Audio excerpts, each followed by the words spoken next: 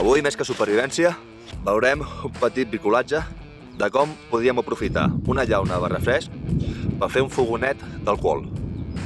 L'únic que farem serà, necessitarem dues llaunes i tallarem els culs més o menys a un centímetre del canto de baix.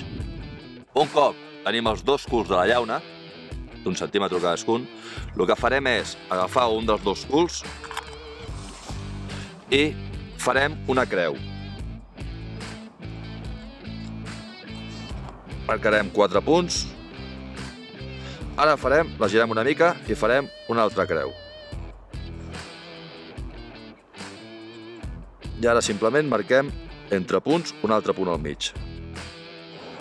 Això ho farem perquè per aquí, quan calentem l'alcohol que tenim a dins de la llauna, sortirà el gas. I això és el que produirà la flama.